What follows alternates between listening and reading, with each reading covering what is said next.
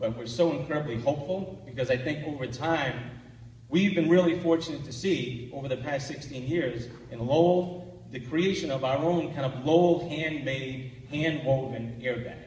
And it comes with patches from our partners in city government. It comes in patches with our partners from the nonprofit, from the business community, that all make this work happen so that when a young person that we work with may stumble, that ideally we have the ability to call upon so many different people that collectively we can be that for that young person.